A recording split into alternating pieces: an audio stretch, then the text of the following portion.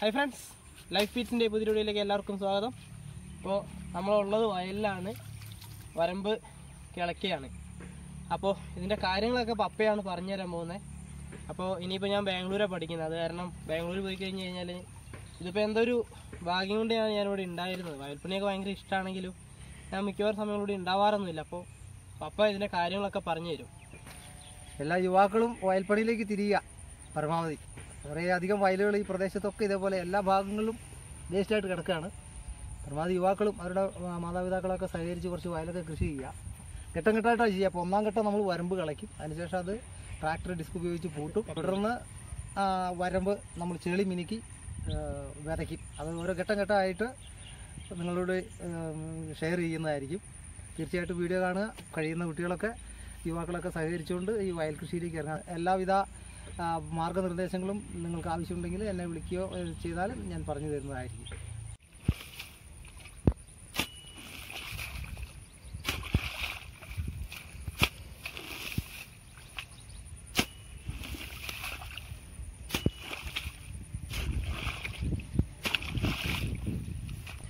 ആദ്യ കാലഘട്ടത്തിലൊക്കെ രണ്ട് മൂന്നും ചാല ഏരിന് പൂട്ടിയിട്ടാണ് നമ്മൾ വരമ്പ് കളിച്ചുകൊണ്ടിരുന്നത്.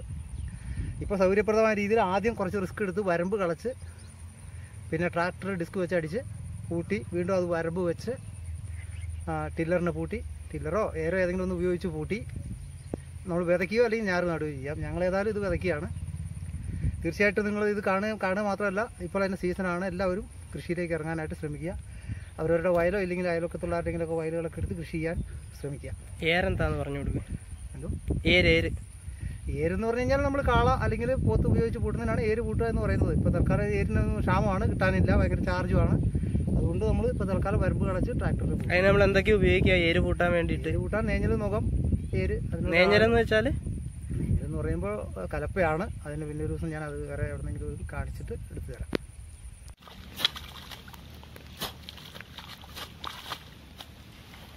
സ്വന്തമായിട്ട് കൃഷി ചെയ്ത് രണ്ട് പുഴുക്ക് പുഴുങ്ങി ഉണക്കിയെടുക്കുന്ന കുത്തരിയാണ്.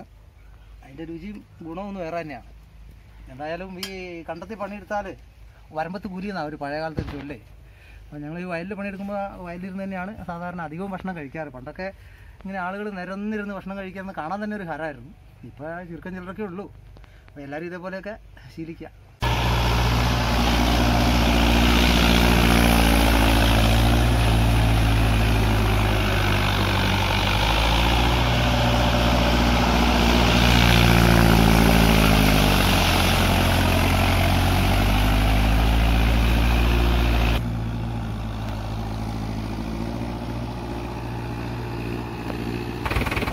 ഇന്നലെയൊക്കെ ആദ്യം ഉണ്ടായിരുന്ന ലെവലിൽ കണ്ടല്ലോ നമ്മൾ വരമ്പ് കളിക്കുന്നതിന് മുമ്പ് ഭയങ്കര പുല്ലായിരുന്നു.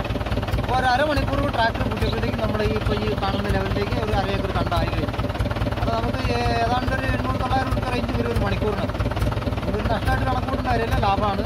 പെട്ടെന്ന് ചെളിയായി കിട്ടുകയും ചെയ്യും ട്രാക്ടർ ആകുമ്പോൾ ഇനി അതിന് ശേഷം നമ്മൾ വരമ്പ് ചെളി മിനുക്കുക ടില്ലർ വെച്ച് അടിച്ച് വിതച്ചാൽ മതി. പണി കഴിഞ്ഞു. അത്രേ വയൽ പണി എന്ന് തുടർന്ന് ബാക്കിയുള്ള ഭാഗം നമുക്ക് പിന്നീട് കാണാം.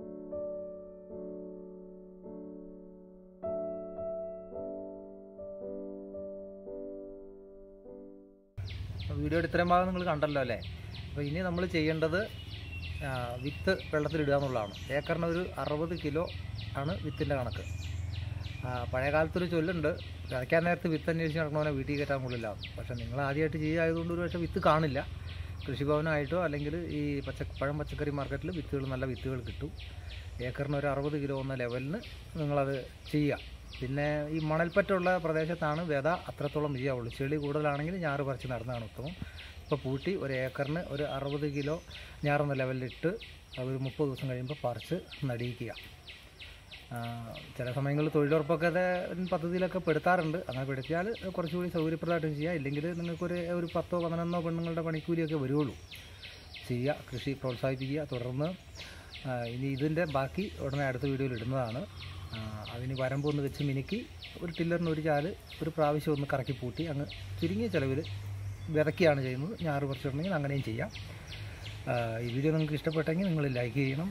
പോരാത്തതിന് എല്ലാവരും നമ്മുടെ നഷ്ടപ്പെട്ടുകൊണ്ടിരിക്കുന്ന നെൽകൃഷി വീണ്ടെടുക്കാൻ വേണ്ടി പരിശ്രമിക്കണം. നിങ്ങളുടെ മാതാപിതാക്കളുടെ സഹകരണത്തോടുകൂടി നിങ്ങൾ യുവാക്കളൊക്കെ ചെയ്യുക.